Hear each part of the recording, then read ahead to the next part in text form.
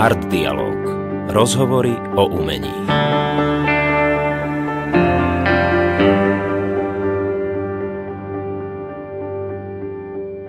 Ahojte a vítajte pri ďalšom dieli podcastu Art Dialog o menšinovej hudbe. So mnou Robertom Pospišom a Martinom Silajom. Ahojte. Našou, Ahojte. našou hostkou je dnes etnomuzikologička a momentálne koordinátorka projektu Angrusory Jana Belišová. Ahoj Janka. Ahojte. Tak prvá otázka, pamätáš si tvoj prvý kontakt s rómskou hudbou? No veľmi dobre si pamätám môj prvý kontakt s rómskou hudbou. To bolo, keď som bola ešte úplne maličká. Lebo ja som chodila eh, k mojej babičke na dedinu, Žehňa, to je okres Prešov. A tam vlastne za dedinou bola a doteraz je veľká rómska osada. A cez prázdniny tam proste v lete bol neskutočný život. Tam proste sedliaci išli spať v dedine. A vtedy rómska osada ožila a tam sa fakt, že spievalo a iš, išiel odtiaľ mm, proste veľká veselosť. Takže to, to je môj prvý kontakt s rómskou hudbou. No a čím ťa to fascinovalo? Vtedy neviem, či už to bolo také úplne jasné, ale kamarátila som sa s tými deťmi, lebo na tej dedine bola hrozná nuda. To bola už tedy taká troška vyľudnená, mala, tam proste neboli rovesníci, ako by moji, moja sesternica snať. Takže ja som sa vlastne s tými deckami hrávala. No a tá fascinácia rómskou hudbou prišla asi až neskôr. Mhm. A to bolo pričom? A to bolo, no ja som potom študovala vlastne etnológiu a my sme proste nás posielali na výskumy do dedín a mne tak prischlo, aha, vy máte hudobné vzdelanie, no tak to by ste mohli, vtedy som ešte nebola Belišová, ale Pastýrčáková, vy by ste mohli teda ísť nahrávať ľudové pesničky, slovenské samozrejme chodili sme na Gemer a tak popri tom, ako som chodila proste k tým babkám od domu k domu, tak na ulici boli nejaké romské deti a že tak aj vy mi niečo zaspievajte. A vtedy mi tak došlo, že proste to bolo, to, boli, to bolo malé dievčatko, to si presne pamätám. Na múriku od cintorina sedelo a zaspievalo nejakú úplne jednoduchú pesničku. Fascinujúce bolo to, ako ju zaspievala. Proste tak malé dieťa s takým akože citom, s takým frázovaním. Proste malé deti bežne spievajú tak da da da dam, da da da dam a takto nejako. A ona proste, to bolo, to bolo hotové dielo. A vtedy ma to tak nejak na novo akoby očarilo tak som sa rozhodla nejak vtedy, že sa začnem, aha, tak ja nebudem tie slovenské ľudové, to robí veľa ľudí. A zistila som, že vlastne tým rómskym piesňam naozaj v tej autentickej podobe sa v podstate na Slovensku veľmi nevenovalo. Ako to vnímaš, že nakoľko je tá hudba slovenská, tá rómska hudba navzájom, ako komunikuje, alebo ako, lebo teraz si presne to mm-hmm. spomenula, že vlastne z tej slovenskej na tú rómsku, ale je, ako tam vidíš to prepojenie medzi týmito dvoma Hej, najprv som sa nad tým až tak nezamýšľala, ale neskôr som, mi došlo, že vlastne v tých jednotlivých regiónoch si to človek uvedomuje, že aj tá rómska hudba je trocha iná a že tam teda naozaj sú nejaké vplyvy. A, a tak Rómovia sú celkovo si myslím, že sú veľmi muzikálni ľudia, vo všeobecnosti samozrejme nie všetci, ale teda veľa a veľmi taký akože dynamický a pružný, čiže oni kde sa ocitnú, mm, tak vlastne z toho okolia si ako keby mm. popríjímajú, čo im vyhovuje a dajú tomu ten svoj vlastný feeling nejaký. Čiže tam tie vplyvy proste sú a samozrejme zároveň aj naopak, hlavne tam, kde boli zase uh, Romovia muzikanti, tak si ich neromovia proste pozývali, niekedy aj spolu hrali v tých kapelách. To bolo hlavne na strednom Slovensku, bolo strašne veľa tých primášov a huslistov a tak tak tam je veľmi veľké prepojenie na tej akoby instrumentálnej Aha. rovine. No to jasné, ovplyvňujú sa všetci, uh-huh. všetkým, tak ako aj cirkevná hudba so svetskou a proste to sa všetko pekne mixuje a vznikajú pekné veci. Ty si povedal, že vlastne tej romskej hudbe tomu zaznamenávaniu sa tu vlastne nikto moc nevenoval. Prečo podľa teba? Neviem, no to bola taká zvláštna doba, si myslím. Ono Romovia mali vlastne problém vôbec ako keby vlastnú identitu si oficiálne vydobiť. Boli považovaní iba za akúsi sociálnu skupinu. Proste to, to mhm. bolo celé vlastne také. Na jednej strane sa to síce možno sem tam niečo urobilo, ale skôr, tak ako aj slovenský folklor bol troška no, v tých, tom období bol síce veľmi preferovaný, ale v takej umelej podobe. Takže aj keď máme nejaké akože cigánske mm-hmm. pesničky, tak to sú skôr také nejaké ľúbivé úpravy alebo mm-hmm. tak. A to autentické ani veľmi nie, lebo vlastne oni Romovia neboli považovaní za plnohodnotné etnikum. Mm-hmm. Tak si myslím, že, to bola asi, asi to bola tá doba. No a potom vlastne ďalšia vec je, že koho by to vôbec napadlo. Medzi samotnými Rómami bolo vlastne akoby málo vzdelaných ľudí, no sa tak postupne vlastne mm-hmm. máme stále viac.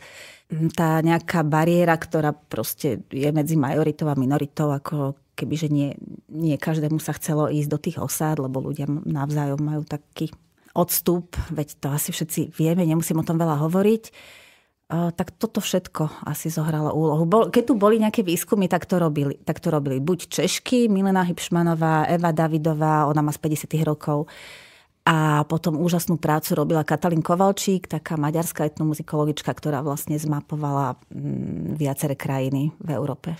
No a tým pádom sa tá hudba odovzdáva z generácie na generáciu, keď mm-hmm. je dôležitá tá archivácia, ale týmto... Áno, no v rámci tých rómskych komunít oni nepotrebujú ako keby tie archívy a tie mm. nahrávky, mm-hmm. no, tak oni sa naozaj posúvajú, ale tak ale žiaľ, teda ja vidím, že, že tie staré vrstvy a ten starý spôsob spievania a tak ďalej, tak pomalinky je, je na ústupe a je vytlačený buď teda tým rompopom, tými modernými, alebo už úplne, že niekde príde a títo mladí majú mobily alebo niečo na uchu a len tak sem tam do toho zaspevnú nejakú jednu, dve slabiky, že si tú hudbu proste už reprodukujú kadečím, je to strašne ľahko dostupné a už som sa stretla s tým, že nevedia proste chytiť dvojhlas, veď spievaj druhý hlas a tá mladá proste to nedokázala, to, čo bolo úplne prirodzené pre tú staršiu generáciu. Hm. A tak.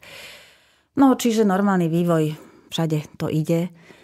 Takže tie archívy vyzerajú také, že to je také suchopárne, že čo nahrávať a neviem, nejaké noty zapisovať, ale tak je to dôležité určite. No. A vy ste robili vlastne to byť také field recordings, ne? V podstate, že ste chodili po tých lokalitách a nahrávali si.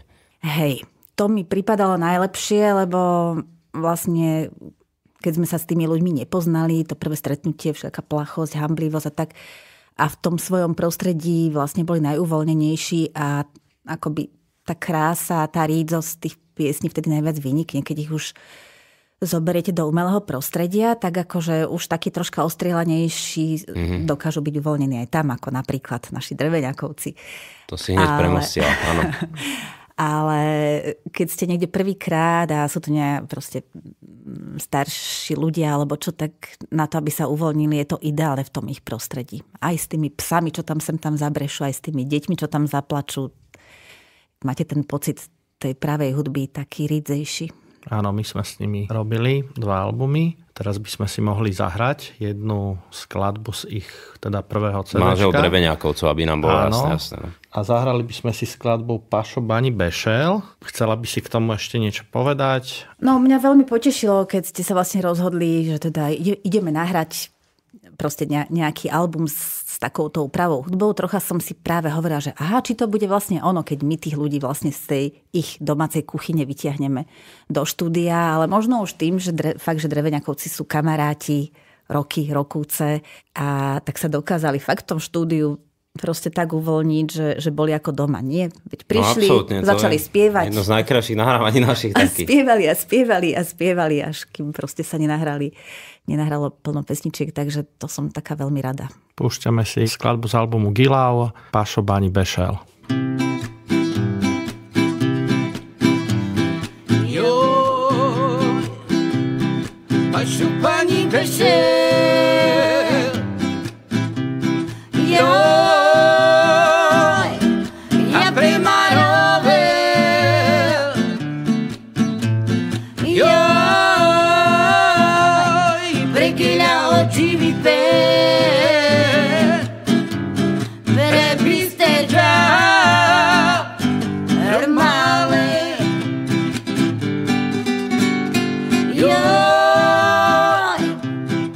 पशुपानी बेच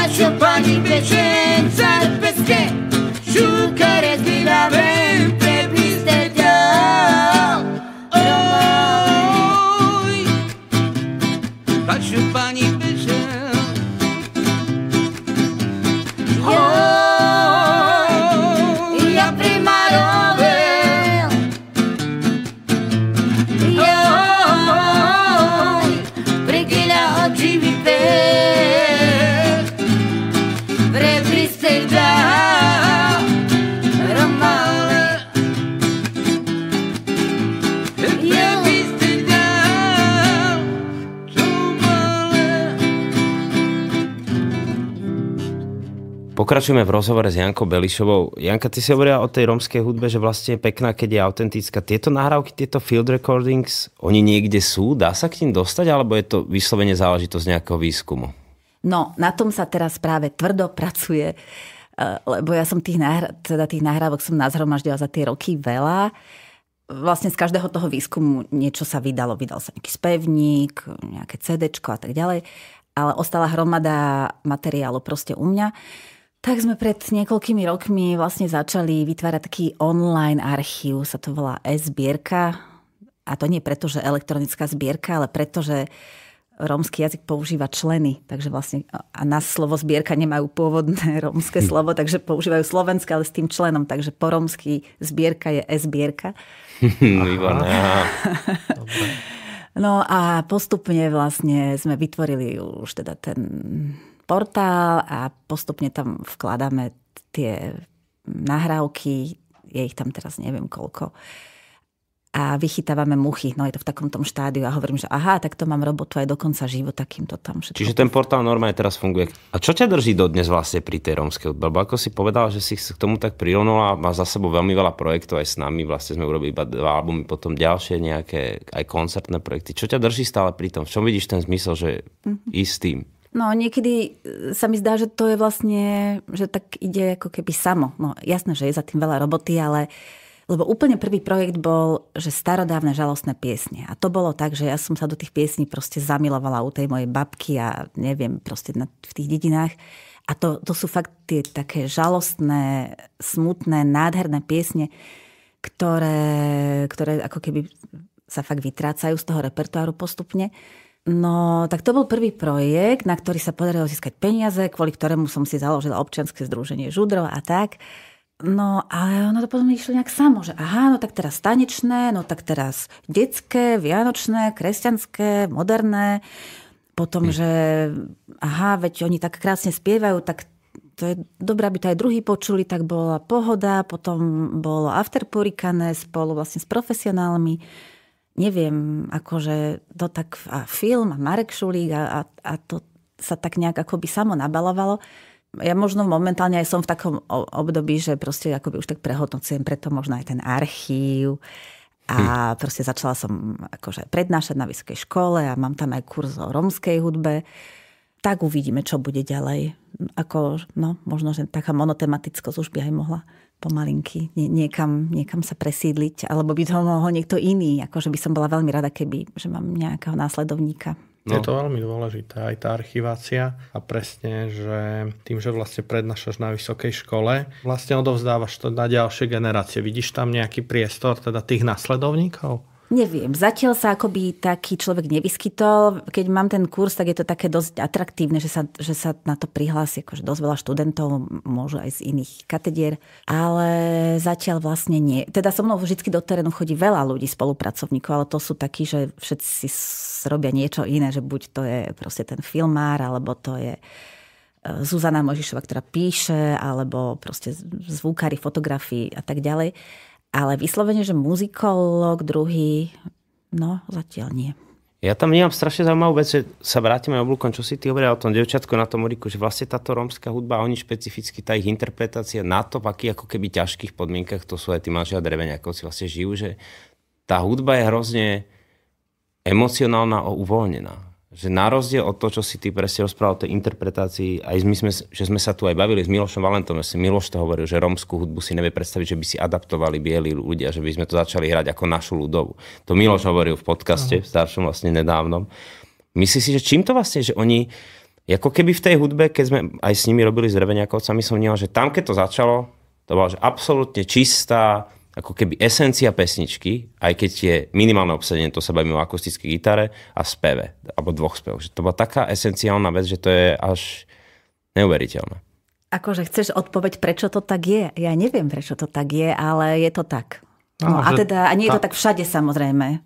Akože nie, nie všade už takto úžasne mm-hmm. oni interpretujú a nie všade to má No naozaj, že, že proste to, od toho frázovania, od tých akordov, akože všetko je vlastne dokonalé, ale to nie je nacvičené, to, to naozaj... Ale aj tá odputanosť tej reality každodennej, že si behom krátkej chvíli absolútne v skladbe dokážeš ponúknuť úplne to prostredie ľuďom, ktoré chcú počuť, tak je to zaujímavé. No, no to, niekedy mi to, to prípada, že to že možno vďaka tomu v podstate oni prežili všetky tie mm-hmm. neskutočne ťažké veci, ktorými prechádzali Nebudeme sa tu baviť o celej histórii, ale akože nemali to ľahké. Jedna moja kamarátka povedala, že keby my sme mali také halgato, možno by sme nepotrebovali psychoterapeutov. My máme horšie veci, no. Niečo, že my to podľa mňa nemáme, tak, nemáme takú fixáciu na tú hudbu ako mm. oni. Ja mám pocit, že u nich je to naozaj vec ako keby jazyk. Že normálne, že to, čo nemôžeš možno povedať úplne, čo si ty hovoria, že úplne nemáš to pochopené, zrazu v tej hudbe sa to preklopí a tam je to strašne zrozumiteľné. Mm-hmm. Lebo my ani s Martinom samozrejme po romsky nevieme. Keď, keď nahrávali u nás dreveňakov si, tak sme sa ťa vždy pýtali, o čom to je to. Akože, a stále nás to zaujíma. Ale napriek tomu, keď začali hrať, to je zaujímavé, že vlastne máš tú emóciu. Že asi rozumieš, že či to je veselé, či to je smutné Uh-huh. Málo kedy sa podľa mňa človek pri tej hudbe zmieli z tej emócie, aj ten, ktorý tomu jazyku nerozumie. No a vieš, že možno ani o ten žáner samotný teraz ani tak nejde, jak to, že stále zostávajú v tej hudbe samotnej. Áno. Vieš, že samozrejme všetko podlieha nejakým trendom. Jasné, že možno tú mladšiu generáciu zaujímajú iné skladby, ako sú tie tradičné, ale napriek tomu zostávajú stále v tej muzike. Tá muzika je v nich, takže toto je tiež veľmi možno zásadný rozdiel tej rómskej kultúry voči našej. našej. No možno je to práve v tom, že tak my teraz stále hovoríme skôr o tých tak akože segregovaných nejakých komunitách, ktoré žijú stále v uzavretom nejakom no. svete.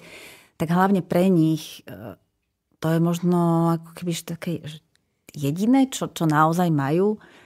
A tam sú také dve, dve vrstvy, že sú naozaj také tie smutnejšie, pomalšie, už či sú staré alebo nové, mm. alebo akékoľvek a, a to som si uvedomila, že pre nich to je len nejaká pekná pesnička, ale pre nich to je fakt, že taká súčasť života, že im to, oni to majú naviazané na všelijaké väzby s rodičmi, na ich nejaké príbehy, čo sa im stal, stali a oni sa akože do toho vložia maximum emócií a v podstate im to ako keby pomáha prežiť. No a potom zase tie proste veselé, uvoľnené, no tak to je opäť vlastne také totálne vloženie sa do toho, taká radosť zo života. Ako som hladná, je mi zlé, som chorá, ale proste vtedy, keď spievam, tak, tak sa proste teším. Tam som to chcel presne sa dostať k tomu, čo Martin hovorí, že sú sami sebou a vy máte vlastne teraz ten zaujímavý projekt, že ste zobrali Marcelku a Joška to Angrusory, čo je veľká vec, v podstate, že tá rómska hudba zase v inom nejakom kontexte. Povedz nám niečo o tom projekte, ako, ako k tomu prišlo? No, to je jeden z projektov, ktorý som si ja sama nevymyslela a do ktorého ma zavolali. No ale teda podaril sa a už trvá, už ako keby svoju druhú fázu. Uh, ono to vymyslel, alebo teda napadlo to Lukáša Berbericha, vtedy robil v Košickej tabačke, dnes mm, je riaditeľom kina Úsmev. A on mal vlastne cez tú sieť tých kultúrnych fabrikových centier kontakt s norským Kitchen Orchestra zo Stavangeru.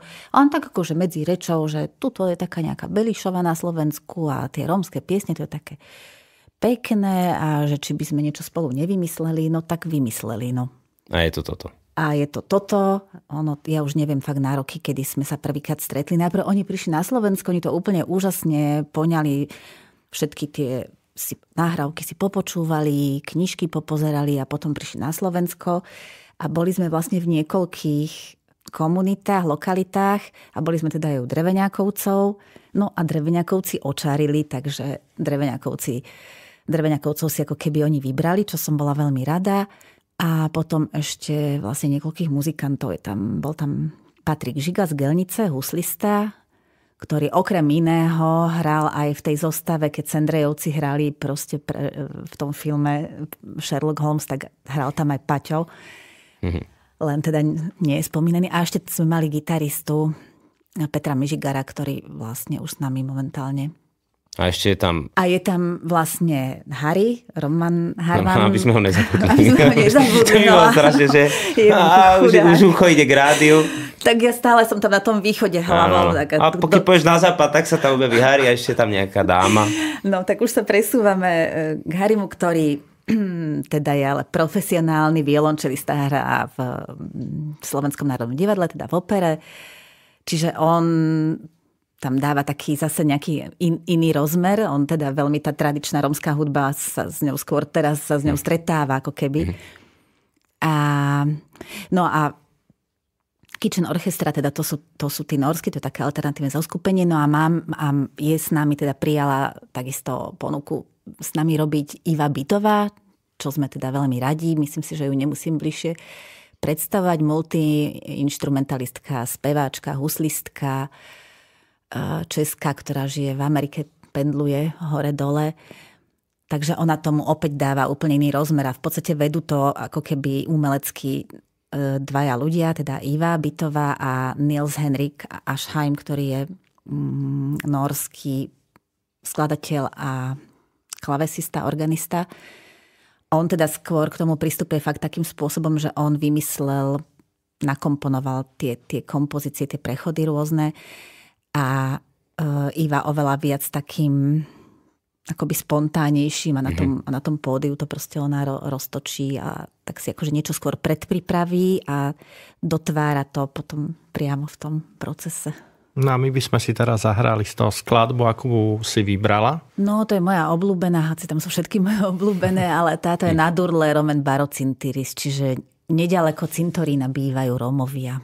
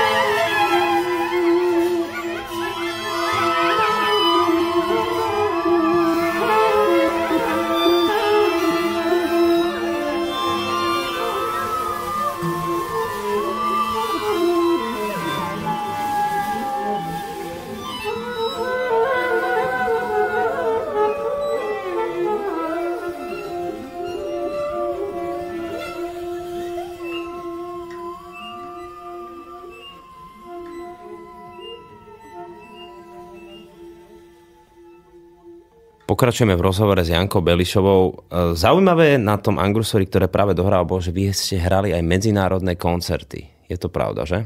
Áno, je to pravda. To bola odpoveď ako zo starej dobrej talianskej komédie. Áno, je to pravda. Vek? Nepoviem. Áno, rozumiem. Takže ste hrali v zahraničí. Ako na takú hudbu, na takúto kombináciu reaguje to zahraničné publikum? No, my sme hrali prevažne v Norsku, a tak teraz sme hrali vo Veľkej Británii, ale hlavne v Norsku, pretože to je akože norsko-slovenský projekt vo svojej podstate hlavne. No, tak veľmi dobré. V tom Stavangeri tam vyslovene... A bolo veľmi veľa ľudí, ako mm. z videa, ktoré som videl, tak No. Bolo, bol Áno, nakoniec vlastne aj, aj album, ktorý sme nahrali, ktorý sa síce nahrával aj štúdiovo po pesničkách, tak nakoniec na album sa dostala nahrávka posledného koncertu v tom Tau Scen v Stavangeri, lebo to bolo presne, to bolo proste spontánejšie, celé to bolo také akože živšie. Tak tam oni majú vytvorené svoje publikum, že tí ľudia sú zvyknutí na chodiť na, na koncerty, na kultúrne podujatia a proste prijímať rôzne akože kultúrne odlišné a tak ďalej. No, takže tam to bolo úplne, že super živé publikum. Uh, ale vo väčšine prípadov dobre. Bo, veľmi zaujímavé bolo, teraz si nespomeniem, Jeminku, nie Vos. V lete sme boli v takom mestečku, kde bolo teda veľmi, bolo to akože otvorené, bol to festival, hral tam inak Bjork, asi o dva dní po nás, takže... Tesne. Tesne. A, a bolo tam staré publikum. To som len tak akože som sa pozrela, mm. samé biele hlavy, ne, neboli to blondiavé tak oni sa tak akože pomalšie ako keby rozkývavali, ale čo môže byť už naozaj aj tým vekom, akože boli veľ, že veľmi dobre reagovali, ale tak netancovali alebo neujúkali alebo čo, ale keď napríklad v tom Stavangeri sa aj tancovalo troška a nebolo tam veľa miesta. Takže veľmi dobre.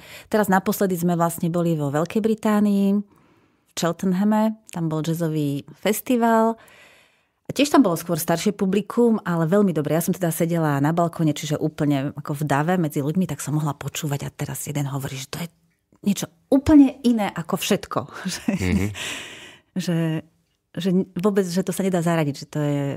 To som sa ťa aj chcel spýtať, že či tá rómska hudba práve v tom zahraničí versus teda to Slovensko, že či sú tam tie pravidlá rovnaké, alebo veľmi podobné, alebo je to, je to úplne iný región, čiže mm, jak to ty vnímaš? No teraz neviem, či sa otázka týka rómskej hudby ako takej, alebo toho Angrusory. Lebo Angrusori je už vlastne taký mix tých alternatívnych všelijakých Ja som to skôr hudobných. myslel všeobecne, ako keď sa bavíme už o tých regiónoch. Že... Mm-hmm. Tak napríklad v Norsku žije veľmi málo Rómov, tak ani neviem, či tam je nejaká taká, a skôr sú to takí, ktorí tam prišli neskôr. Ono v tých severských krajinách až, až tak ich to asi nelákalo ale veľké komunity sú v Španielsku, vo Francúzsku, to asi vieme. Mm-hmm. A tam presne toto môžete vidieť, alebo v Maďarsku, v Rumunsku. Proste keď si fakt zoberiete maďarských Romov, rumunských, teda hudbu španielských, francúzských, tak ich rozoznáte bez toho, aby ste boli nejaký veľký profesionál alebo čo. Naozaj v tom rôznom prostredí ostáva to proste vo svojom jadre rómske, ale zároveň sa to vyvinie do nejakej úplne inej podoby. Už či v tom Francúzsku je ten manuša jazz, alebo proste v Španielsku flamenko a tak ďalej. No, v Rumunsku tie dýchovky, teda vôbec na Balkáne. Ja obdivujem vlastne tú tvoju prácu, takú koncepčnú, dlhoročnú. Je to neuveriteľný vlastne takto, keď to zhromaždíme všetko, keď si hovoril o tých projektoch, je to vlastne neuveriteľný už teraz, ty, čo si spolu vytvárala nejaký archív. Máš ešte stále z tej hudby, že sa, vráti sa ti ten pocit, že keď to počuješ, to, čo si hovorím, možno keď si bola malá, mladá, že si počula to všetko, že máš to ešte stále, alebo už aj tebe, lebo ty si s tou romskou hudbou komunitou už tak prepletená veľmi veľa, že je to ešte stále pre teba, nechcem povedať, že silné, ale stávajú sa ti takéto okamy, že počuješ niečo a zase ťa to zobere tam? Ale stáva sa mi to, lebo ja sa vyslovene vyhýbam ako keby, že v súkromí proste sa nepresicujem tým, akože ne, proste keď, keď si mám sama vybrať, čo si pustím, nepustím si rómskú mm. hudbu. A tak sa mi, alebo aj Iva Bytová teraz, že veď si, ty tie koncerty tu stále s nami chodíš, ty akože nehráš, tak by som si zahrala, no. Ale, no, že stále je to to isté. Mm. A, ale tak nie, a občas sú také momenty, že si poviem, wow, že však to je tak dobré. No práve, že sa mi to stáva. Som sama z toho prekvapená, že, že nie som tým úplne presítená. A napríklad teraz tie nahrávky, tých som sa nedotkla proste 20 rokov alebo koľko, mm. 15, neviem. A teraz, keď ich občas do toho archívu dávam, tak to mám také, no proste ja sa tým nepresicujem, nie, lebo sú takí ľudia, ktorí sú tak akože strašne etno, že... Áno, že stále počuješ že stále niekde. len to. Ja, ja fakt počúvam, že v súkromí niečo úplne iné, tak si to tak šetrím a tak sa mi to občas ešte stáva. Tak čo... ale dáva ti to aj istý nadhľad potom. Tak, no. A čo to dáva tebe? Možno, ak si povedal, že tým Romom vlastne je tam ten ako keby aj smutné, aj pozitívne, že im to dáva tú radosť vlastne prežiť. Čo to dáva tebe? Čo, čo tebe podľa teba dáva tá rómska hudba? to je ťažká otázka. No, a to už nie je iba o hudbe. No. No. Lebo na začiatku to bolo očarenie hudbou a potom proste potom boli intenzívne výskumy, to stále stridaš plno ľudí, je to také, hej, je to svojím spôsobom aj dobrodružné, lebo stále stretávaš nejakých iných. Ale potom to bolo aj ťažké, lebo ty sa nemôžeš odstrihnúť tú hudbu od tých ľudí a veľakrát to proste boli, že ťažké prostredia, ťažké sociálne situácie, takže ja už som veľakrát bola, že to je koniec, ja, že už akože nevládzem mm-hmm. toto nejako, ja nie som sociálna pracovnička, nemám na to páky, aby som sem tam akože pomôžem nejak tak trocha, ale to buď človek robí to, alebo to. To sa akože nedá. Takže to je na tom niekedy také mm, ťaživé a teraz je to už o tom, že už tie vzťahy niektoré sú že dlhoročné, že to už sú pevné vzťahy, to už nie je len také troška. A popri tom je tá hudba, neviem, ale myslím si, že nám všetkým, ktorí teda aj so mnou chodia, to dalo práve niečo také, že, že sa od, od tých Rómov učíme možno väčšej vrúcnosti, väčšej spontánnosti, väčšej otvorenosti. To je to, čo nám niekedy možno chýba. My si všetci tak strážime ten, ten svoj individualizmus, ten svoj priestor. Oni sú proste spolu, všetci na jednom gauči, objímu sa, keď spievajú, alebo no niečo také, čo už ako keby v našej kultúre troška chýba. My to tam máme také vzdušné všetko. Potrebujeme no. tú vzdialenosť. Tak my ti chceme poďakovať hlavne, že si sa s nami rozprávala a myslím si, že to bol veľmi, by som povedal, intenzívny ponor do tej hudby a rozlučíme sa akou piesňou, čo tam máme. Tak by sme sa vrátili opäť ku Gilau a k manželom Dreveňákovcom a zahrali by sme si z ich druhého albumu skladbu, aby som to teraz dobre vyslovil, pre Aďa Baro Svetos. Janka sa tu skoro zadusila, keď počula Alebo tvoj prírodzený dialekt. Áno, áno. To je... Výborne si to povedala. Na tomto veľkom svete, a kebyže ďalej nemám kam ísť. Ďakujeme ti, Janka. Ďakujeme. Ďakujem, a ja.